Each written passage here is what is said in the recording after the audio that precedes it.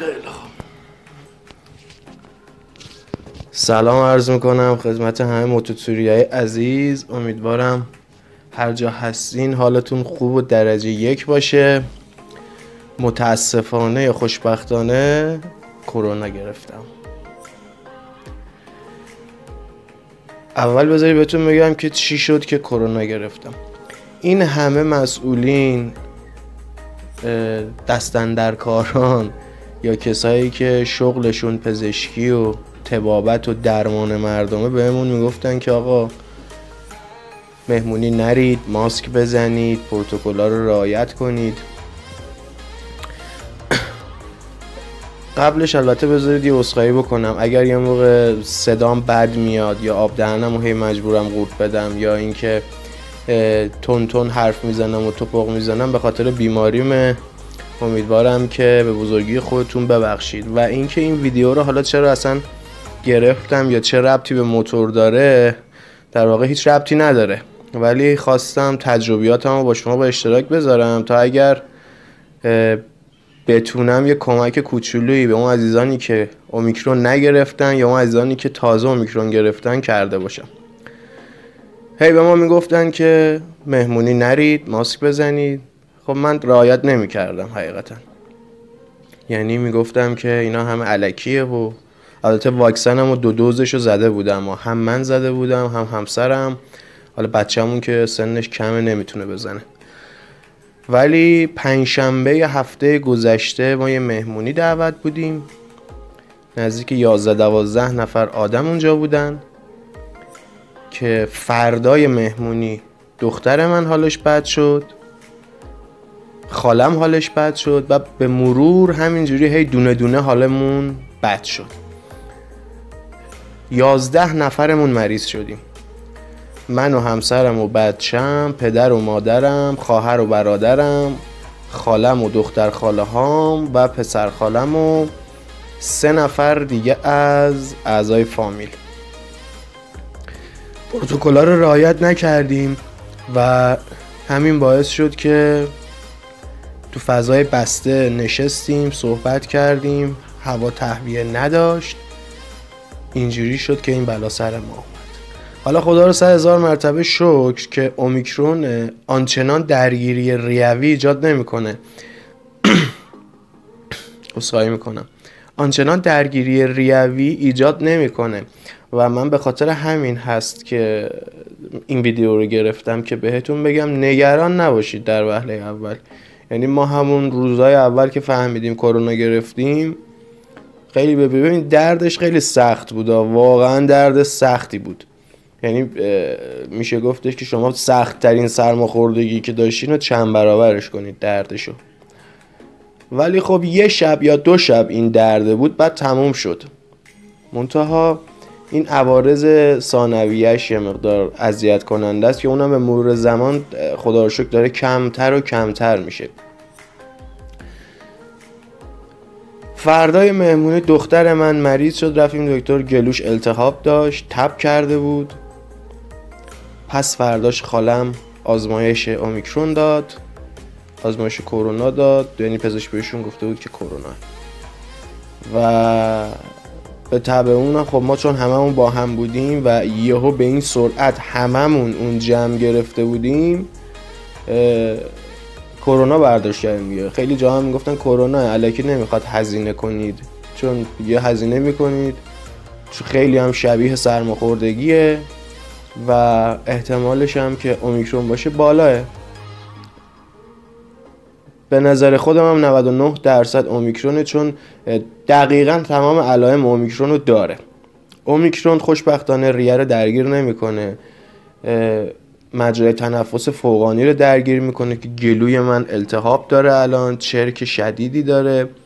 گلاب بروتون دیروز خون میومد همسرم الان چند روز صرفه های شدید خشک داره.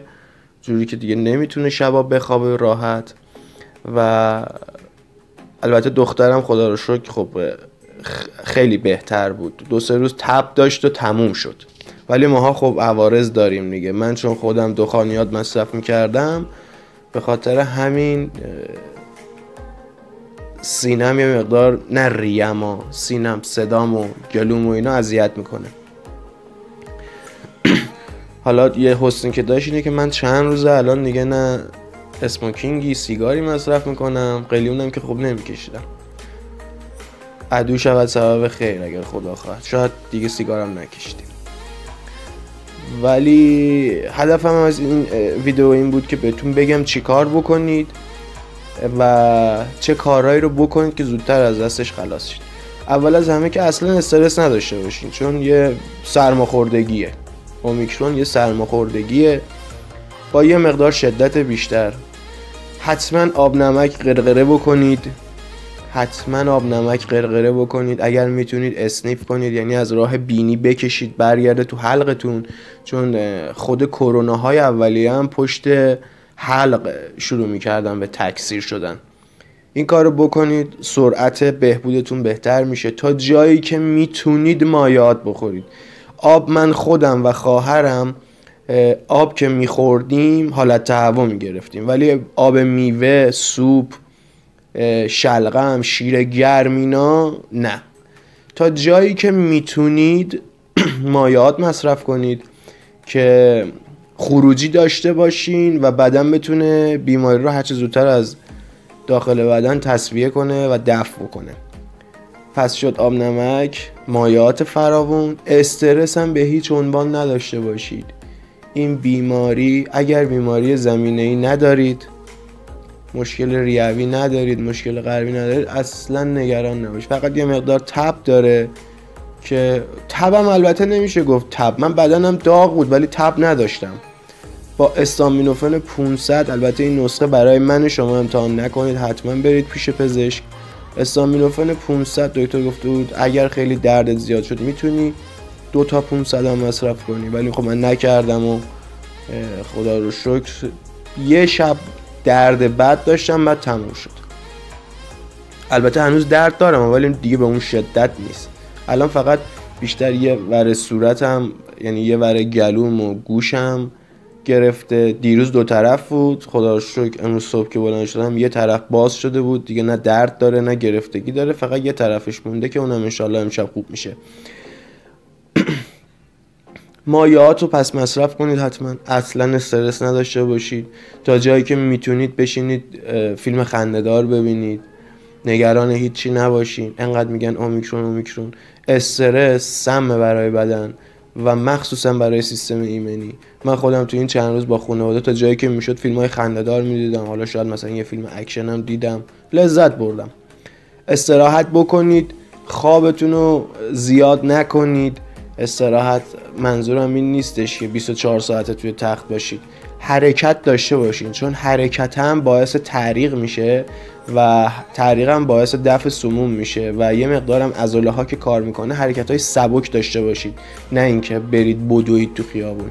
حرکت های سبک داشته باشید نگران هیچی نباشید. سه چهار روز پیکش تموم میشه میره خیالتون هم راحت میشه. اگرم واکسن زدین طبق تحقیقاتی که من تو این چند روز کردم کسانی که واکسن دو دوز زده باشن یا بوسترش رو زده باشن اومیکرون رو بگیرن خوب بشن یه مقاومت بالایی ایجاد میشه. ولی این دلیل نمیشه که ماسک نزنید و فاصله رو رعایت نکنید. چون ممکنه سویای بعدی اذیت بکنه.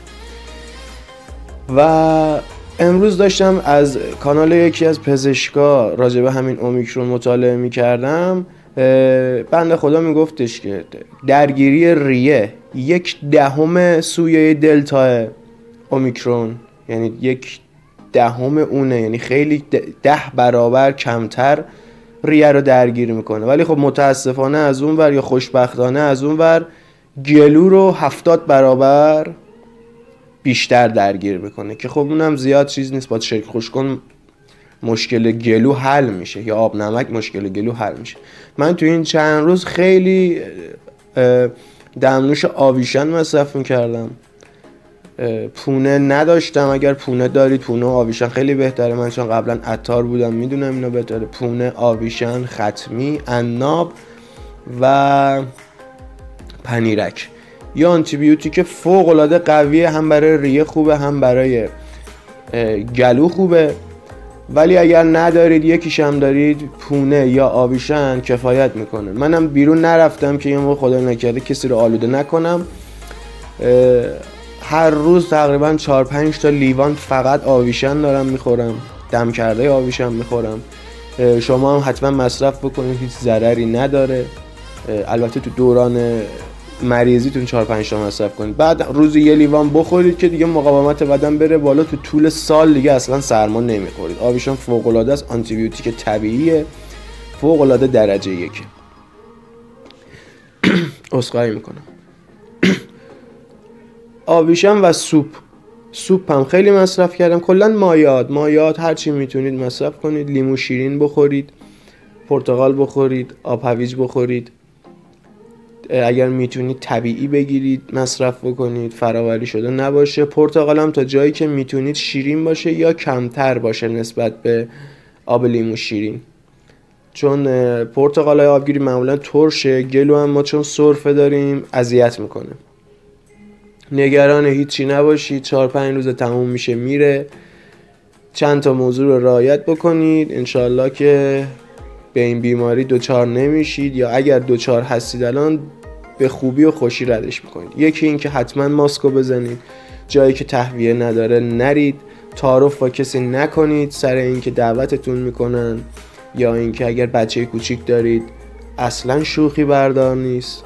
حالا خدا رو شکر از سمت خانواده من مشکلی نبود. بدنا مقاوم بود. اگر کسی بیماری داره اصلا تعارف نکنید. نرید. یه بار نرفتن هیچ اتفاقی نمیفته ولی خب میارزه به اینکه این درد رو نکشی. اگر هم مجبور هستید حتما جایی که تهویه داره برید.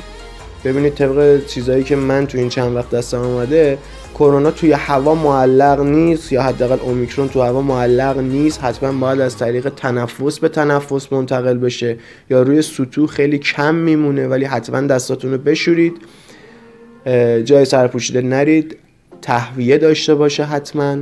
جای مرتوب و گرم زیاد نرید. نه اینکه خودتون رو سرد نگه دارید. جایی که جمعیت هست و مرتوب هست نرید چون میچرخه توی هوا. اونجوری تو رطوبت میمونه میچرخه. و اینکه اگر هم گرفتین استرس نداشته باشین مایات مصرف کنین سر موقع قرصا و داروهاتون رو بخورید. تموم میشه میره.